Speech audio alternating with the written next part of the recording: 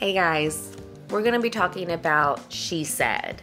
So, this movie is about the Harvey Weinstein cases and how the story broke out. It starts off right away. There's no room for building an understanding as to what this might be about. You have to have an understanding about what the Harvey Weinstein situation is before going into this. If you're not, I think you might be a little lost.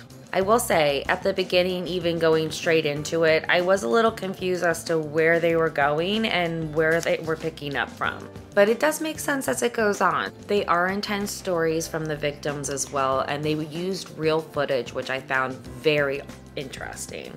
I was a little bit intrigued by this whole situation, and I knew very high level information, so going in and learning a little bit more about how it actually unfolded was interesting to me. Start. If you're familiar and you're interested in learning more about the victims and their stories, I do say it's worth your time. Otherwise, if you're not familiar with it, I'm not sure this is for you. Would I recommend it right off the bat? Again, I would probably only recommend it to people that are familiar with this story. Do I think it's worth your time?